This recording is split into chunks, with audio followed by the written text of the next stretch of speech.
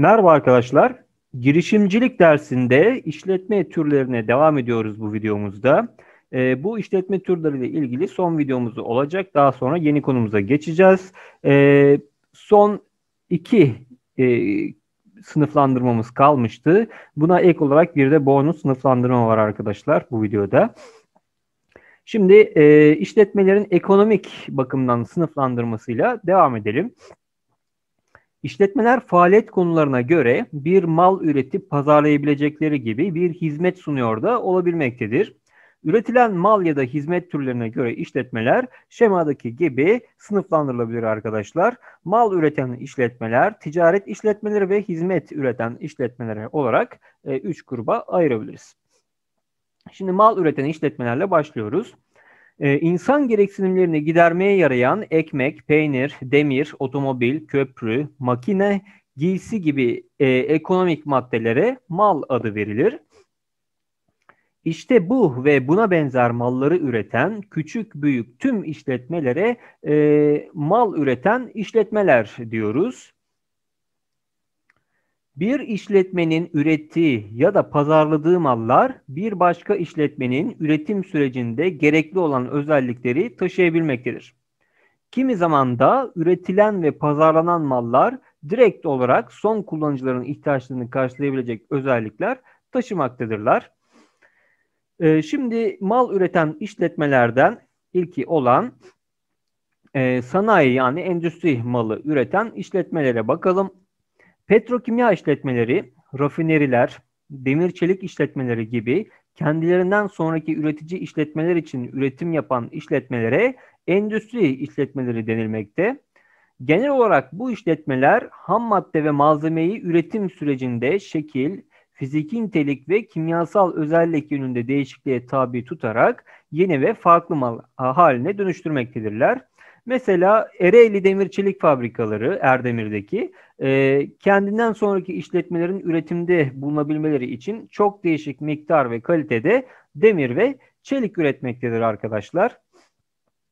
Geçiyoruz ikincisine tüketim malı üreten işletmeler. E, bu tür işletmeler genelde kendinden sonraki işletmeler için değil, son tüketiciler için üretim yapan işletmelerdir. Mesela e, bir ayakkabı fabrikasının yaptığı ayakkabılar, hazır giyim imalatçılarının ürettiği elbiseler e, bu gruptaki mallara örnek olarak verilebilir.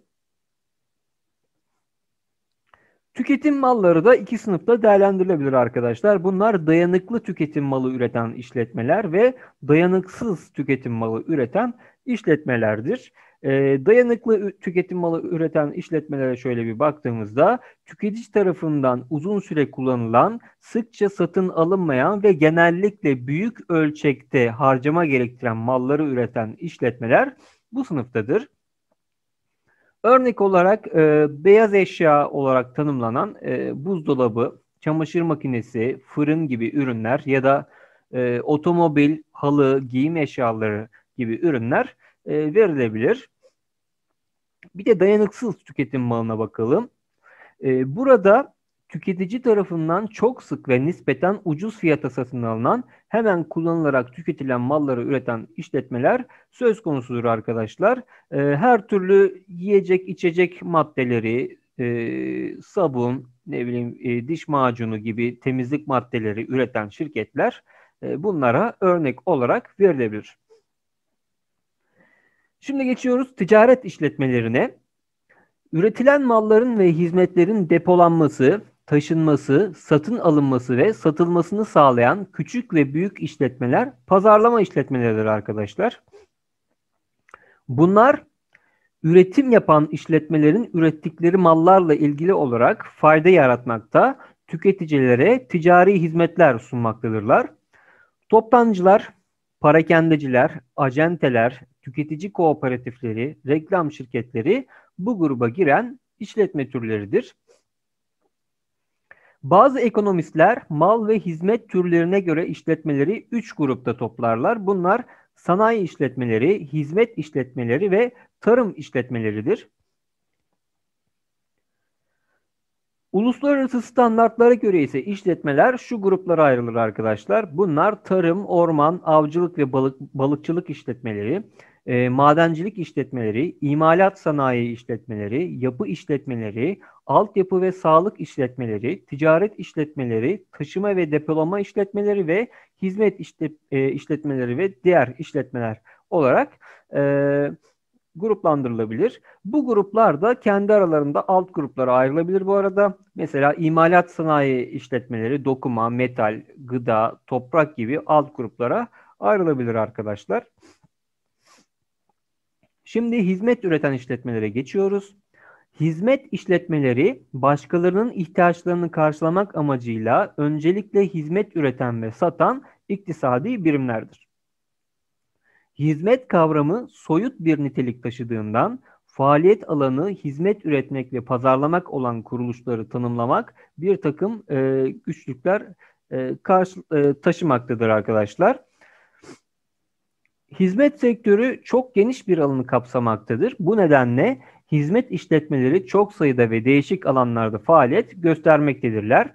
Bunlar konaklama işletmeleri, eğlence hizmetleri, bakım hizmetleri, özel sağlık hizmetleri, özel eğitim ve e, eğitim hizmetleri, e, danışmanlık hizmetleri, sigorta ve finans hizmetleri, taşıma ve iletişim hizmetleri gibi çok geniş bir alanda faaliyet göstermektedirler.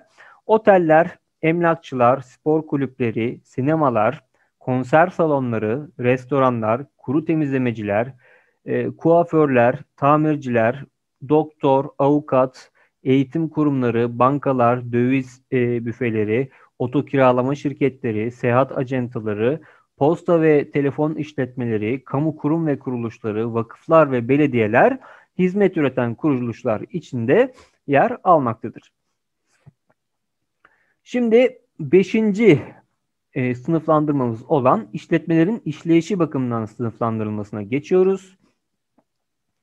E, bunlar tarım işletmeleri, sanayi işletmeleri, inşaat sanayi ile ulaşan, e, uğraşan işletmeler, ticaret işletmeleri, ulaştırma ve iletişim işletmeleri, finans işletmeleri, serbest meslek ve diğer hizmet işletmeleri ve kiralama işletmeleri olarak sınıflandırılmakta arkadaşlar. Tarım işletmeleriyle başlayalım. Tarım işletmeleri çiftçilik, hayvancılık, balıkçılık ve ormancılıkla uğraşır. Bu işletmeler tarımsal ürünleri yetiştirir veya yetiştirilmiş olanları işleyerek daha farklı biçimlere dönüştürür arkadaşlar. Bunlara e, balık çiftliklerini, tavuk çiftliklerini, konserve, peynir ve süt fabrikaları ve bu türdeki işletmeleri örnek olarak verebiliriz. Sanayi işletmelerine geçtiğimizde sanayi işletmeleri madencilik, imalat, sanayi, elektrik, su, petrol sanayi alanlarında çalışmakta. Bu işletmeler hem maddeleri işleyerek daha önce üretilmiş ürünlerin şeklini değiştirerek veya başka bir işlev görmek üzere ürünlerin birçoğunu bir araya getirip montajını yaparak yeni bir mal ortaya çıkarır.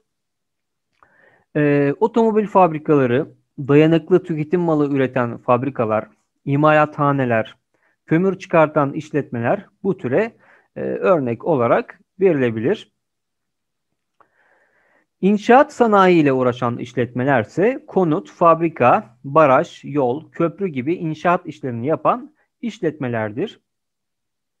E, müteahhitlik ve taşeron firmaları bu türe örnek e, verilebilecek işletmelerdir arkadaşlar. Ticaret işletmeleri gıda, hazır giyim, elektronik, dayanıklı tüketim malı gibi malların ticaretini yapan işletmelerdir. Bu işletmeler herhangi bir malı üretmezler.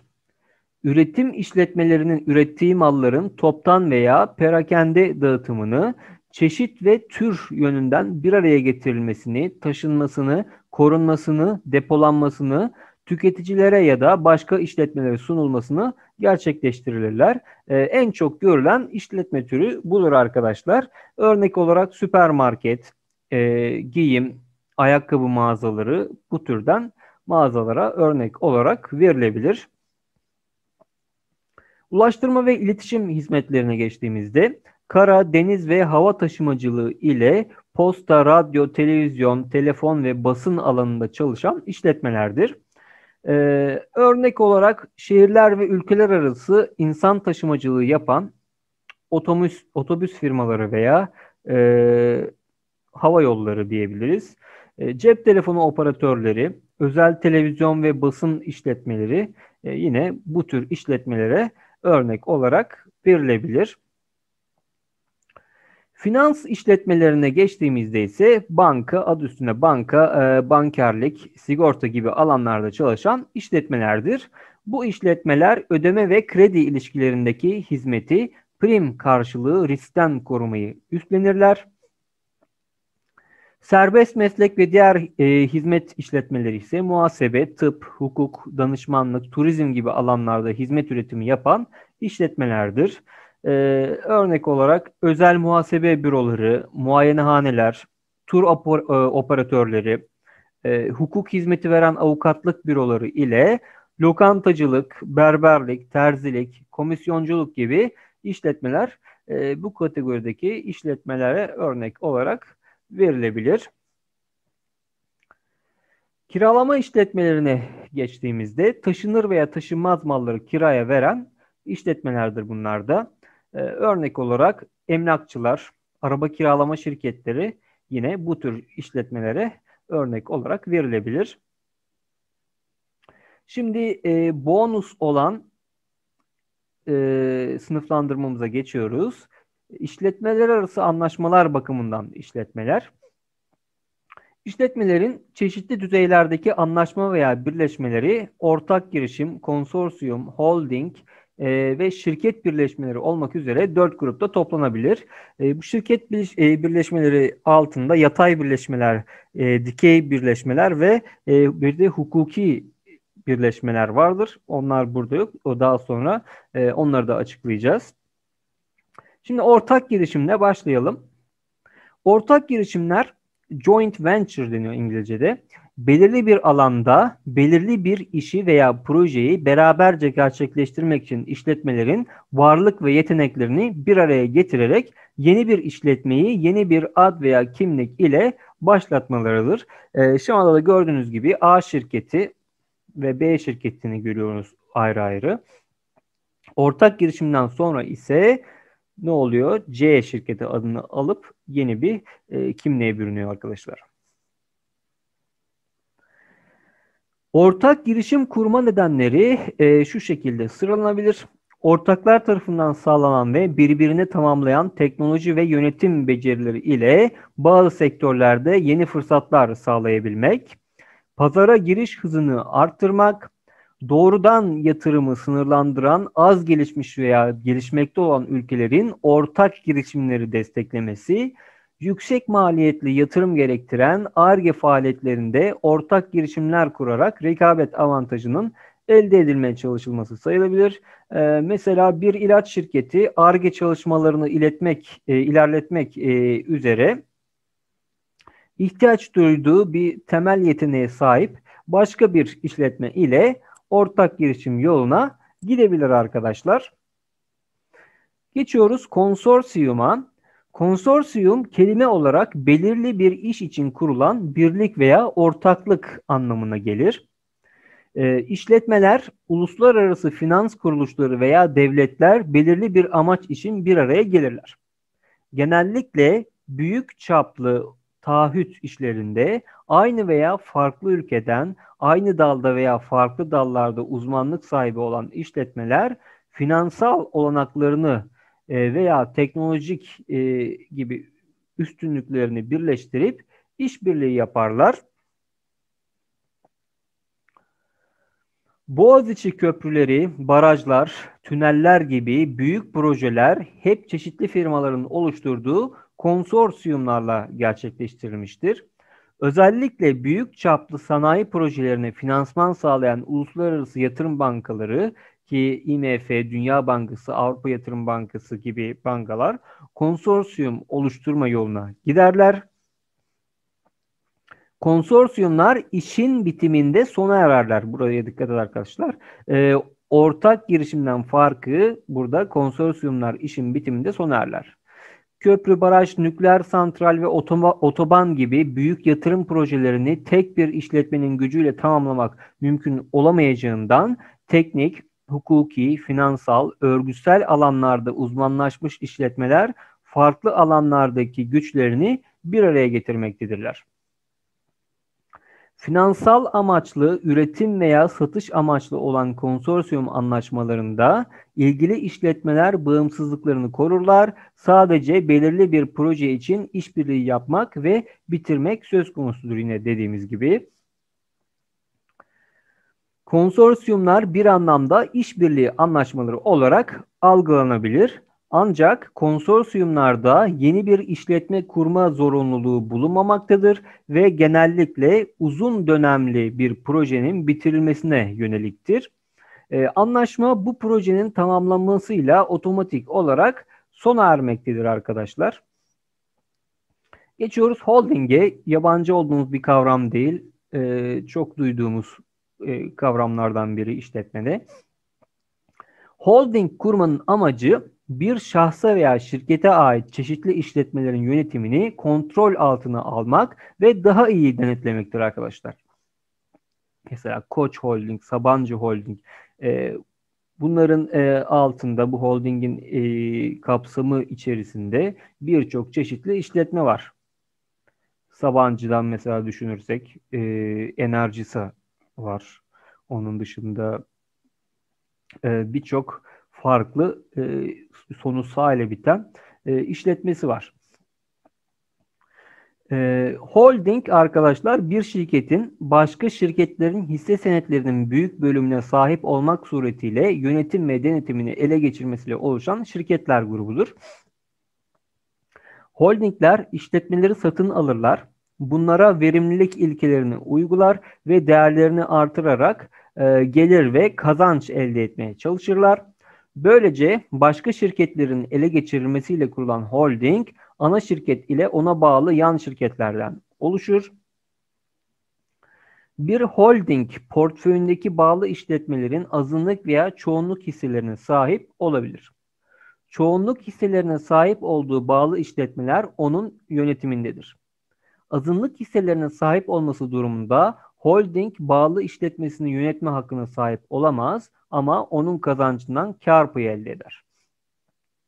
Ana şirketin bağlı şirketlerin yönetiminde söz sahibi olabilmesi için %51 payı olması gerekirse de anonim şirketlerin genelde çok ortaklı olması nedeniyle %25-30 pay sahipliği ile yönetim ve denetim holdinglere geçebilmektedir.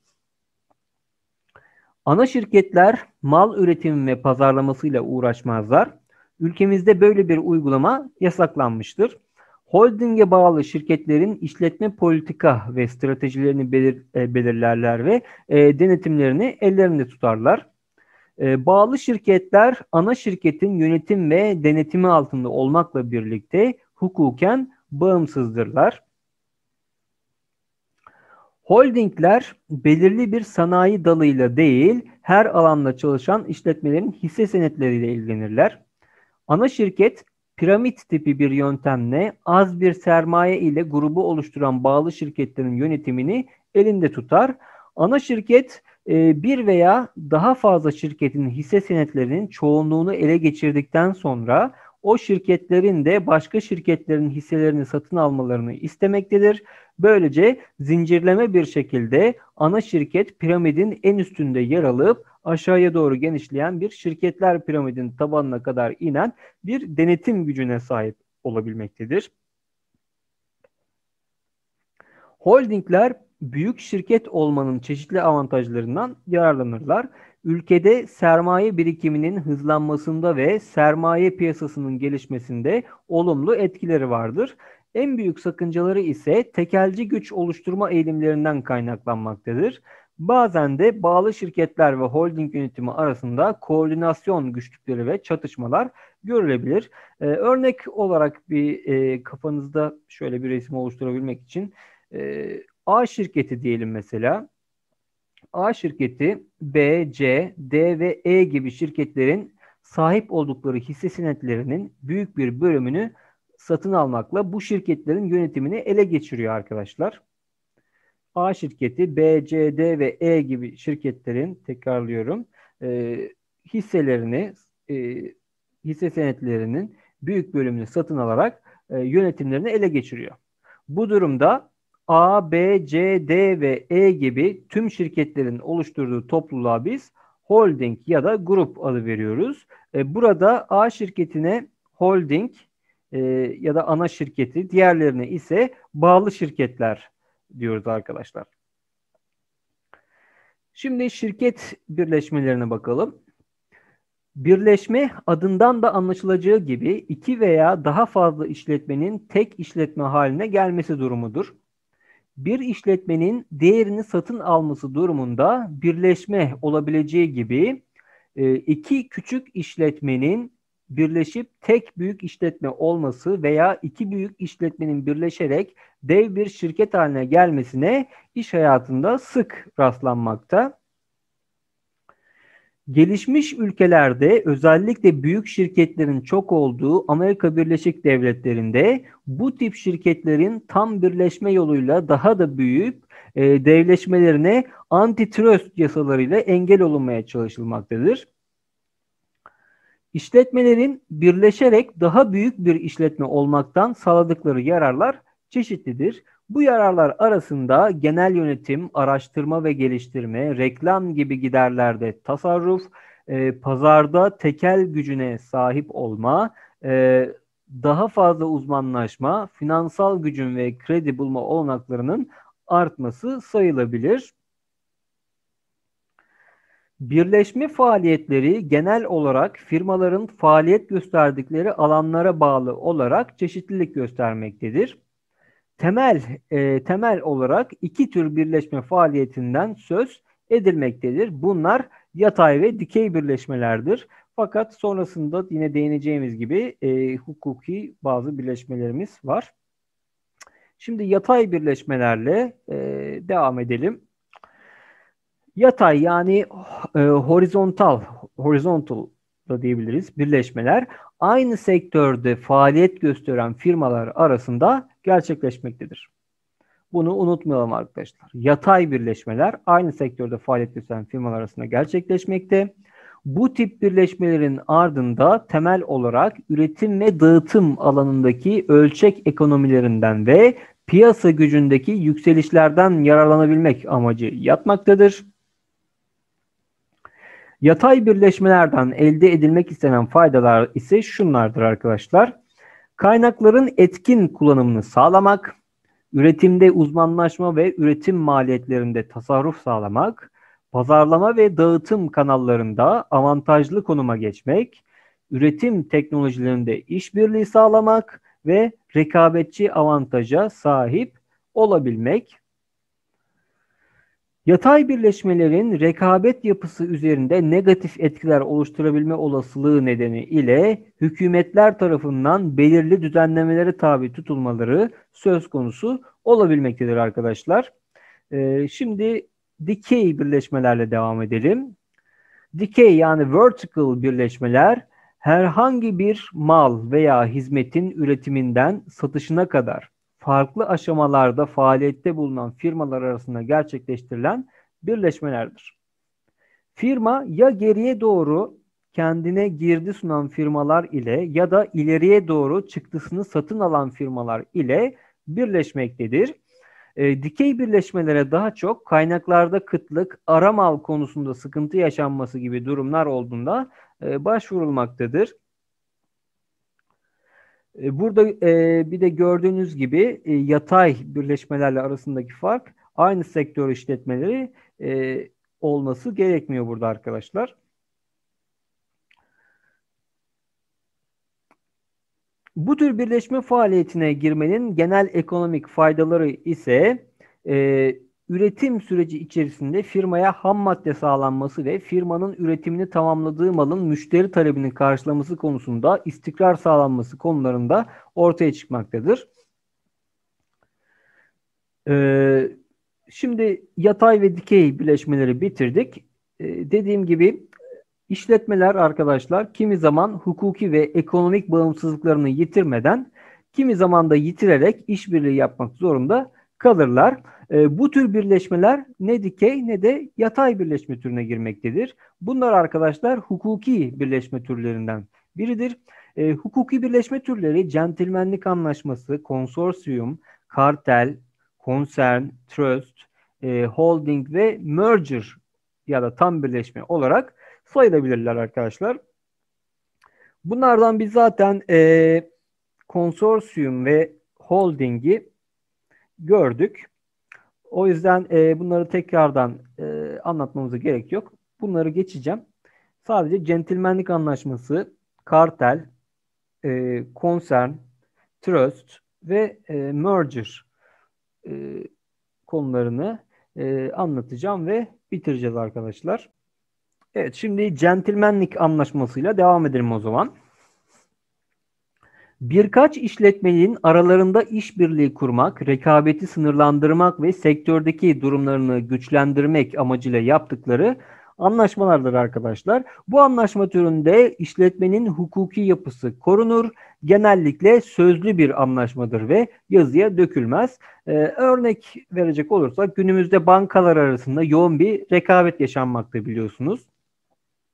Ancak e, bankalar aralarında faiz oranlarını belirli düzeyde tutacaklarına dair bir e, centilmenlik anlaşması yapabilirler mesela arkadaşlar.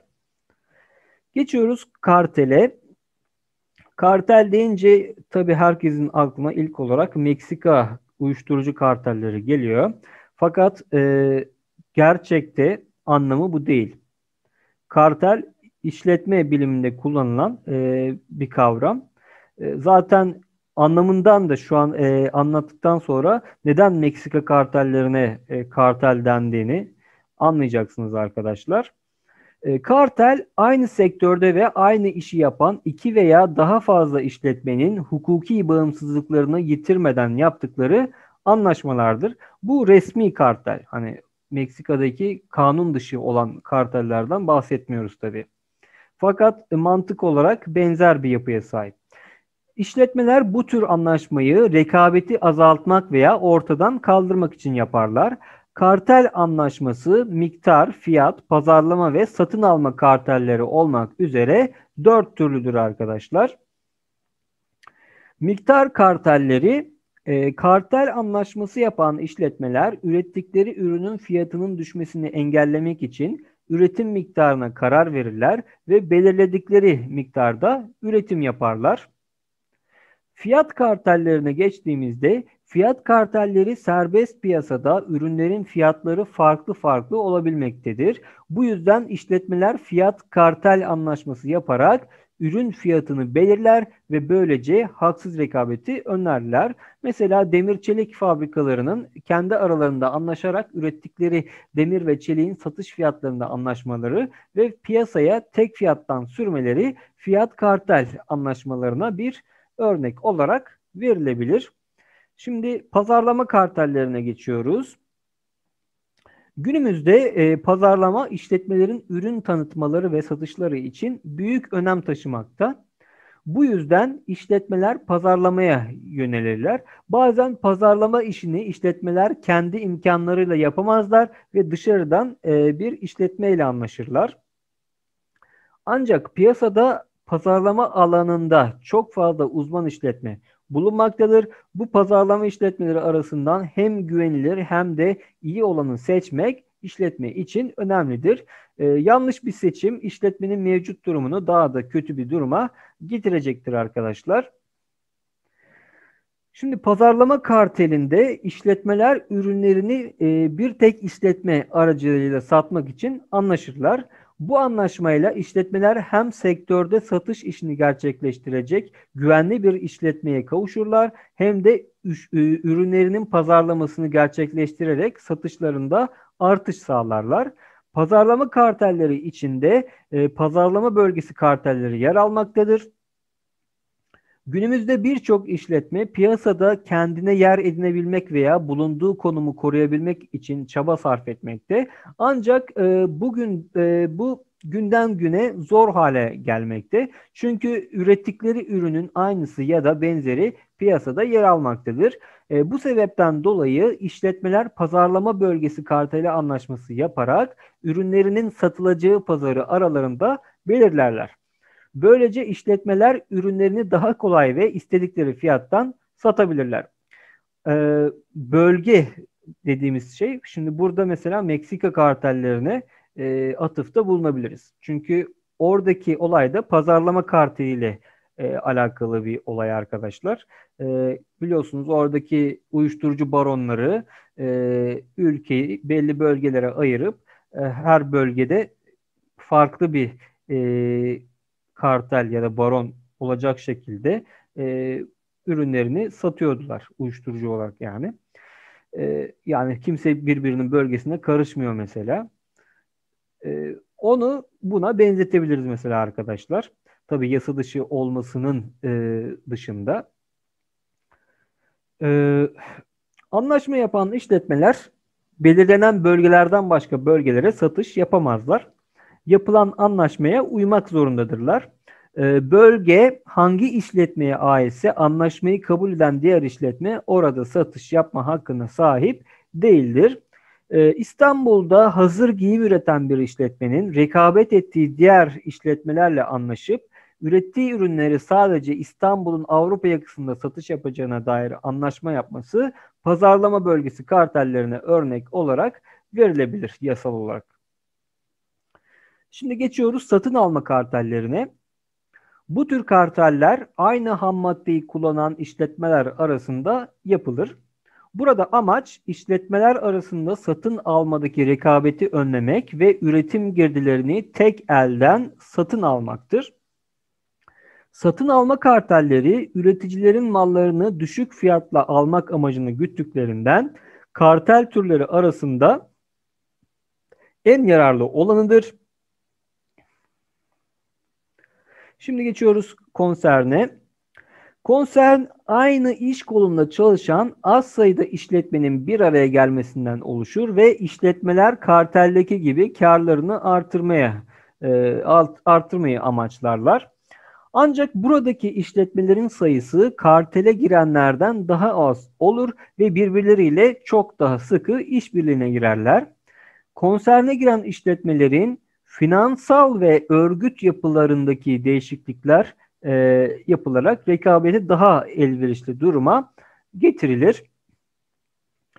Konsern üyeleri arasında işbirliği yapılır ve işletmeler ekonomik bağımsızlıklarını büyük ölçüde kaybederler. Ancak yasal bağımsızlıklarını korurlar arkadaşlar. Geçiyoruz Trust'e.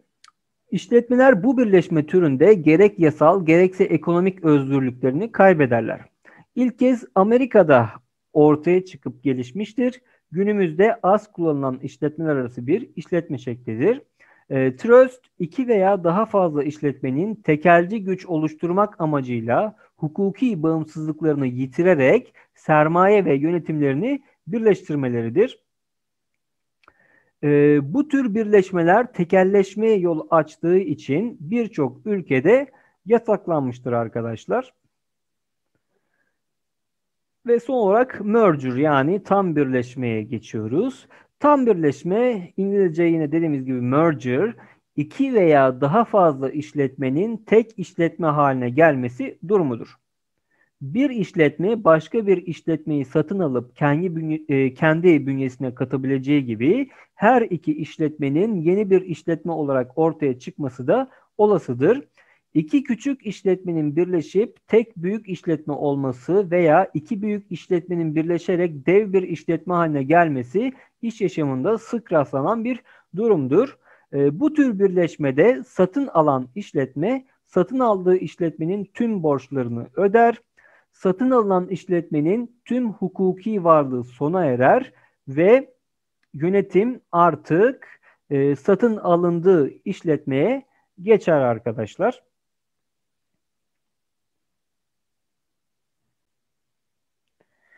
Şimdi arkadaşlar şöyle bir neler öğrendiğimizi bu konu altında son 3 videoda kısaca özetleyelim. Ee, ekonomide kaynakların kullanımını gerçekleştiren en somut birimler işletme adı verilen kuruluşlardır biliyorsunuz. İşletmeler insanların ihtiyaçlarını gidermek, yaşamlarını kolaylaştırmak için faaliyet gösteren kuruluşlardır. Mal ve hizmetin sunulduğu her yerde bir işletmenin varlığından söz edilebilir. İşletme insan ihtiyaçlarının e, insan ihtiyaçlarını karşılamak üzere bilgi, insan, teknoloji, finansal kaynak gibi güncel üretim faktörlerini en etkin ve verimli bir şekilde kullanarak öncelikle uzun dönemde kar, süreklilik ve sosyal sorumluluk amaçlarını yerine getirmek, ekonomik mal ve hizmet üretmek için kurulmuş ekonomik birimlerdir. Ee, İşletmelerin genelde kabul edilen amaçları kar sağlama, topluma hizmet etme ve işletmenin yaşamını devam ettirme olarak sıralanabilir. İşletmelerin temel fonksiyonları da e, genel fonksiyon olarak yönetim, e, ki planlama, örgütleme, yönetme, eşgüdüm ve denetim olarak saymıştık. E, ve temel fonksiyonlar olarak satın alma, üretim ve pazarlama, kolaylaştırıcı fonksiyonlar olarak finansman ve personel ve destekleyici e, fonksiyonlar olarak muhasebe, ulaştırma, depolama, ARGE ve halkla ilişkileri sayabiliriz demiştik. E, işletmeler e, hukuki bakımdan özel işletmeler, kamu işletmeleri ve yabancı sermaye işletmeler olarak sınıflandırılır. Ekonomik bakımdan işletmeleri mal üreten işletmeler, hizmet üreten işletmeler, ticaret e, işletmeleri olarak ayırmak mümkündür. E, ayrıca işletmeler yaptıkları işler bakımından e, ya da birleşmeler bakımından yine farklı e, sınıflandırmalar, sınıflandırmalara ayrılabilir. Bunları da zaten e, videolarımızda gördük arkadaşlar. Evet arkadaşlar, bu ders videomuzun sonuna gelmiş bulunmaktayız. İzlediğiniz için teşekkür ederim. Bir dahaki videoda görüşmek üzere. Hoşçakalın for the fakeness. If you wanna play tough and wanna hate this I'll always show up and make a statement. I don't ever slow up, no I don't take shit. I've got no love for the fakeness. If you wanna play tough and wanna hate this I'll always show up and make a statement. Everything I do so instinctive and so passionate. Every word I move so descriptive like an adjective. I got a vendetta against people who patented Being negative when you should be getting after it. I got facts over facts over tracks, this and that. Spitting slow, spitting fast, I could roast, I could gas. Think I'm okay at last, but I don't know if that can erase all the past. And the pettiness, a reflection of the emptiness. Hilarious, you think you're worth my time, you're delirious. Mysterious, because you hide behind a fake exterior. Inferior, you know I'll always be a bit superior. Get off of me, this ain't no humble brag. I want you to hear words, you can say them back. I want you to feel free from the chains at last. And to believe in what you got, it was built to last, yeah now that I've been put through hell. I never got anyone's help I had to do it all myself. I don't ever slow up, no I don't take shit. I got no love for the fakeness. If you wanna play tough and wanna hate this I'll always show up and make a statement. I don't ever slow up, no I don't take shit. I got no love for the fakeness. If you wanna play tough and wanna hate this I'll always show up and make a statement consequence of being incompetent. Mental health is confidence, dreams and some honestness I'm not here to save the day, that's for you to take away. I could play a million mind games,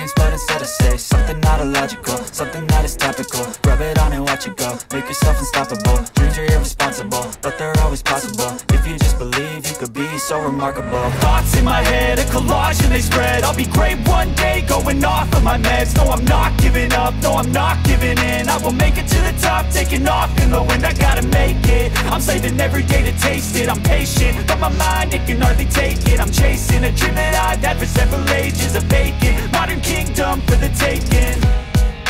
Now that I've been put through hell I never got anyone's help. I had to do it all myself I don't ever slow up, no I don't take shit. I got no love for the fakeness. If you wanna play tough and wanna hate this I'll always show up and make a statement. I don't ever slow up, no I don't take shit. I got no love for the fakeness. If you wanna play tough and wanna hate this I'll always show up and make a statement. I don't ever slow up, no I don't take shit. I got no love for the fakeness. If you wanna play tough and wanna hate this I'll always show up